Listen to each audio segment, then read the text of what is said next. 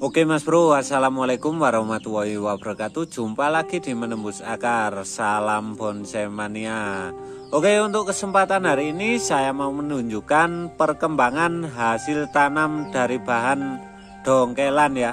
Oke, lah ini di depan saya ada bahan bonsai ileng-ileng. Nah seperti ini Mas Bro. Nah ini sudah pernah saya review ya. Sekarang saya review lagi untuk melihat perkembangannya. Oke untuk perkembangannya seperti ini ya. Ya untuk tanamnya saya menggunakan media yang sama Mas Bro ya. Media tanah murni. Oke di sini juga ada bahan bonsai waru ya. Nah ini dia. Nah untuk batang pohonnya seperti ini Mas Bro. Nah lumayan berkarakter lah ya nah, seperti ini. Nah untuk pertumbuhannya sangat subur sekali mas bro. Seperti ini ya. Oke di samping sini juga ada bahan bonsai sisir ya. Nah ini juga sudah pernah saya review tapi tidak serimbun ini ya. Nah sekarang sudah mulai rimbun. Dan untuk perkembangannya cukup bagus ini ya. Nah, seperti ini Nah, di sini ada yang lumayan istimewa ya. Nah, amplas hitam. Pertumbuhannya sangat rimbun sekali Mas Bro. Nah, untuk batang pohonnya seperti ini ya. Uh, berbonggol Mas Bro. Lumayan. Kebanyakan yang saya tanam bonggolnya selalu saya pendam ya. Biar tumbuh dengan subur. Oke, di sini juga ada amplas hitam lagi, Mas Bro. Nah, seperti ini. Nah, ini juga berbonggol, Mas Bro ya. Bonggolnya selalu saya pendam ya, biar pertumbuhannya lebih cepat. Nah, alhamdulillah juga subur juga ini. Nah, di depan saya juga ada lantana ya. Nah, ini dia lantana ini batang lurus ya saya ambil karena batangnya cukup lumayan ini kalau untuk ukuran segini ya dari bahan bonsai lantana. Oke kita dekati di sampingnya itu ada waru. Nah ini batang waru mas bro. Nah saya tanam batang tanpa akar ya tapi alhamdulillah tumbuhnya juga subur. Lah itu dia Nah ini juga berbonggol ya. Nah bonggolnya kebanyakan saya pendam agak dalam ya Biar pertumbuhannya subur. Nah untuk fungsinya di pendam agak dalam itu pertumbuhannya ya seperti ini mas bro ya. Sangat-sangat subur. Nah seperti ini. Oke di sampingnya itu juga ada mentaos ini ya. Nah itu dia Nah ini pertumbuhannya juga subur banget mas bro ini. Nah itu dia untuk batangnya lumayan kecil ya. Tapi lumayan lah buat tambahan koleksi ya. Nah mohon maaf ya sebelumnya ada suara itu ya. Sapi soalnya di dekat kandang sapi. Lah ini dia. Di belakangnya ini ada kandang sapi mas bro ya. Mohon maaf kalau sedikit berisik ya Oke, lah ini di sini ada pusu bulu ya yang saya tanam kemarin. Nah, Alhamdulillah sudah tumbuh ini Mas Bro. Nah, sudah mulai tumbuh-tumbuh tunas ini ya. Nah, ini dia seperti ini. Nah, Alhamdulillah tumbuhnya juga subur Mas Bro. Lah untuk karakter pohonnya seperti ini ya. Nah, ini proses tanamnya dan pemotongan ranting juga ada Mas Bro untuk berburunya juga ada ya di videonya. Oke untuk karakter pohonnya seperti ini mas bro. Nah ini bonggolnya juga agak saya tinggikan ya. Terpendam agak tinggi maksudnya. Nah seperti ini. Uh sangat-sangat istimewa. Dan Alhamdulillah tumbuh subur mas bro ya. Nah seperti ini bahannya lumayan istimewa dan pertumbuhannya juga subur mas bro. Oke di sini juga ada duranta. Pertumbuhannya sangat-sangat subur mas bro ya. Nah, di deretan sini duranta semua ini. Nah, kecuali yang ini ya. Nah, ini lantana mas bro. Nah, untuk bunganya berwarna putih ya. Soalnya sudah pernah saya sambung Nah untuk aslinya bunganya berwarna pink ya. Ini lantana lokal saya sambung dengan mikro ya. Nah seperti ini. Nah untuk karakter pohonnya seperti ini mas bro. Nah ini juga pernah saya review ya. Nah sudah agak lama sih. Nah sekarang pertumbuhannya semakin subur mas bro seperti ini ya. Nah, kalau di samping sini bahan bonsai waru mas bro. Nah ini dia Untuk tanamnya medianya juga sama mas bro ya. Saya kalau baru tanam kebanyakan menggunakan tanah murni. Tapi alhamdulillah mas bro pertumbuhannya sangat-sangat subur ya. Ya cukup lumayan subur lah Seperti ini. Nah ini sangat-sangat rimbun ya. Oke, di sini juga ada akar waru, Mas Bro. Kalau akar waru tanpa disambung tidak bisa tumbuh tunas ya. Nah, ini habis sambungan ya. Jadi sudah tumbuh tunas kalau sudah disambung ya. Oke, untuk perakarannya ya ini cuma akar semua ya kok perakarannya. Nah, akarnya seperti ini, Mas Bro.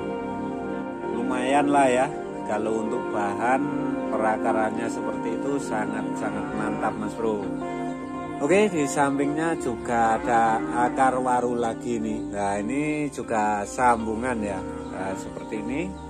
Nah untuk perakarannya yang paling bawah ya seperti ini mas bro.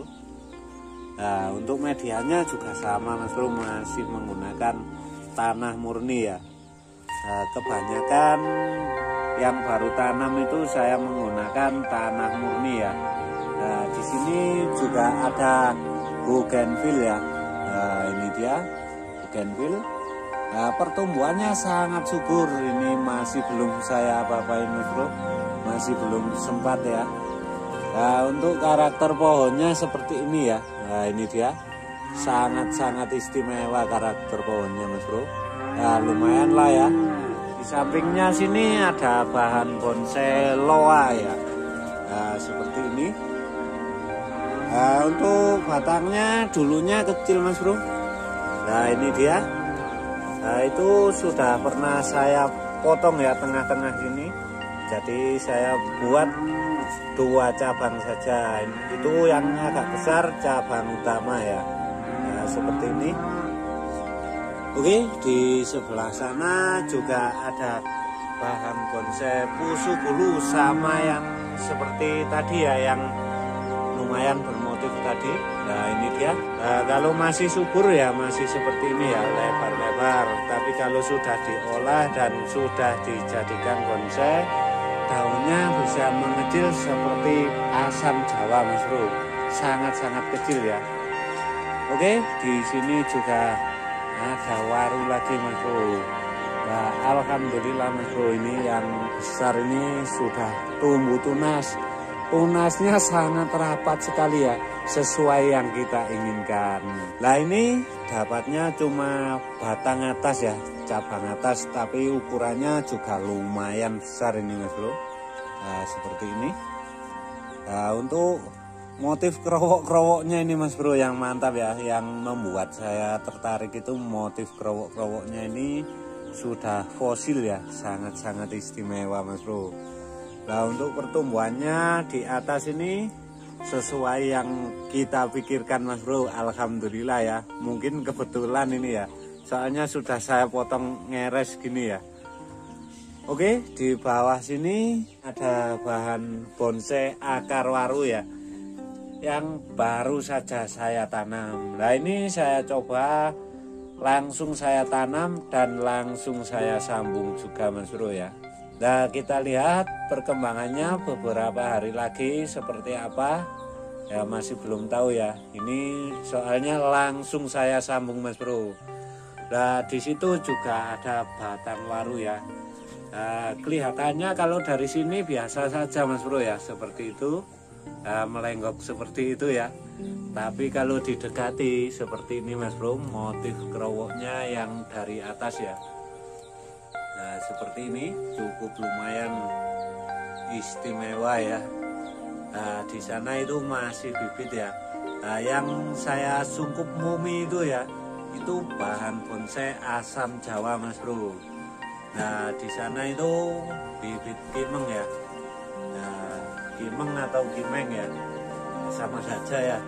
Oke seperti itu pertumbuhannya juga subur Nah ini tanamnya cuma saya tancap-tancapkan saja Tapi Alhamdulillah tumbuhnya juga subur. Nah di situ ada bahan bonsai loa juga. Nah seperti itu. Nah ini dapat dongelan ya Tapi batang bawahnya saya pecah menjadi empat ini. Tapi Alhamdulillah tumbuh dengan subur mas bro. Nah ini di atas ada mas bro Nah, di sini ada wareng bintang. Alhamdulillah wareng bintang ini tumbuhnya juga subur bro. Nah seperti itu. Nah di sana itu serut. Kalau di situ mustam. Alhamdulillah sudah mulai tumbuh-tumbuh tunas ya itu. Oke kita lihat di arah bawah lagi mas bro. Nah ini dia ada bahan bonsai serut. Nah ini juga ukurannya juga lumayan ya. Nah, ini kelihatannya sudah hampir pembukaan sungkup ya. Nah, sebentar lagi lah kita harus bersabar ya. Nah kalau di sini sudah subur ini yang bawah ini ya.